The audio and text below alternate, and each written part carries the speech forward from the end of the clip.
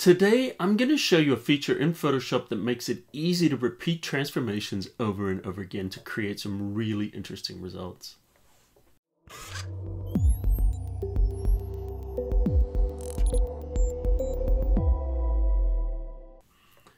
Hey Cafe crew, it's Colin Smith here from Photoshop Cafe, and today I'm going to show you how to repeat transformation, and this helps you get some really cool creative results without a lot of work. So I grabbed this picture of a woman and also a feather here from Adobe Stock. And I actually grabbed this as a vector so it was already cut out.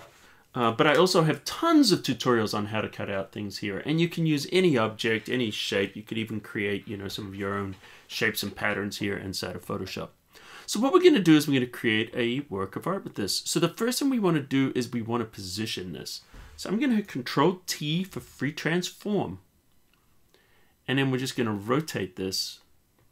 And what we want to do is just kind of position it, but I want it to rotate around the head. Now, if you don't see this little option here, you'll see, just turn it on there. And this gives you your pivot point. And I'm just going to move this pivot point, and now we're going to test the movement. Okay, I feel like it needs to go a little bit further out, so I'm pulling it a little bit further out and testing the movement once again. See what we're doing here? And it looks like it's going a little bit too much to the left. So I want to move it a little to the right. So we're going to pull that pivot point over. And notice this is just going to rotate around this pivot point. And this is looking pretty good. This is about what I want. So what I'm going to do is I'm just going to drag down some guides. By the way, Control R will get you the rulers. And I'm dragging out these guides because this is where I want that pivot point to go. All right, get ready to repeat this transformation. So we're going to hit Control J to duplicate that layer.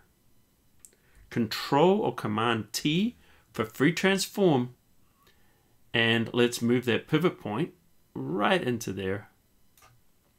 Now we're just going to drag out. Notice what we're doing, we're just rotating it. And I want it to go about there. So however far we go, you know, we could go further, we could go less. There's so many places you could use this for. And I'm going to hit enter and this is going to be repeatable. Hold down the shift, option, command, and on Windows that would be shift, alt, control, and then we just tap the T key. Notice that repeats it. And let's tap the T again and just keep tapping it. And notice this is going to repeat this all the way around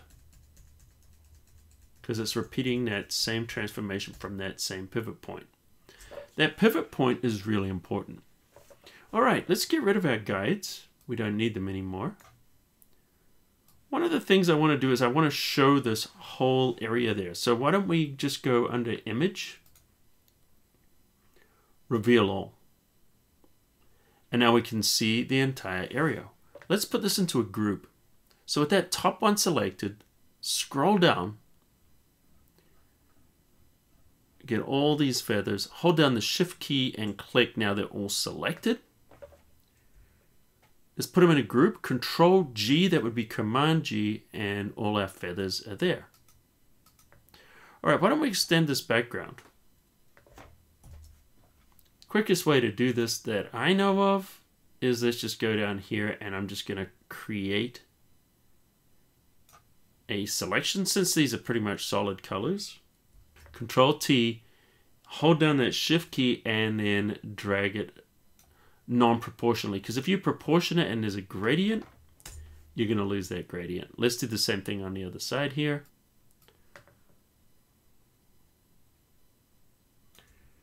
Control T, hold down that shift key and just drag this out. And all we're doing is a pixel stretch, except we're doing more than one pixel. Let's do the same thing for the top. Make sure you get an area that's not covering her flower. That looks good. Control T, hold that shift key, drag it out. Hit enter, and there we go.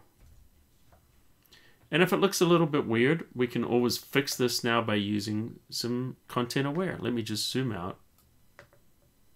Go around there, shift, delete brings up the fill, use content aware, and click OK. And notice that just cleans up any of that artifacting. Same thing there. Let's do the same thing. There we go.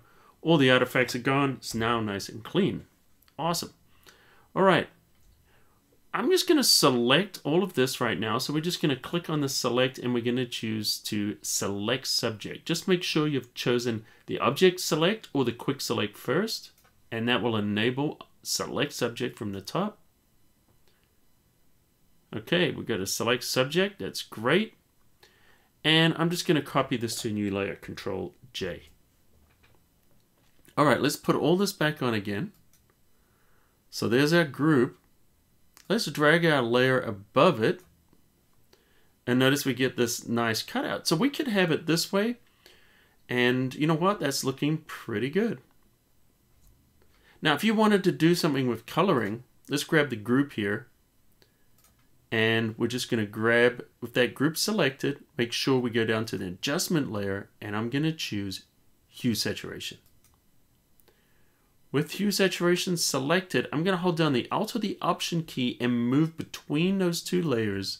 This will clip this here so now the adjustment will only affect those feathers and not the rest of the image. Click colorize and let's try something a little bit different. Maybe lighten it up a little. And so we're looking for something maybe a little bit more complementary to those tones. It's looking pretty nice. Now let's blend it in with the original color. So with this hue saturation adjustment layer selected, go down to color. And then we're going to take the opacity and we're going to bring it down just a little bit. So now we can start to blend. There's our original color. And there we are. Now we're just starting to influence it a little bit with the new color.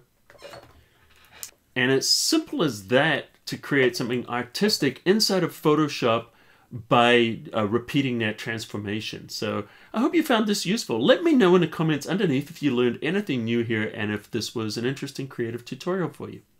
And by the way, if you haven't subscribed yet to Photoshop Cafe, hit that subscribe button right now and you'll get a new tutorial from me every single week.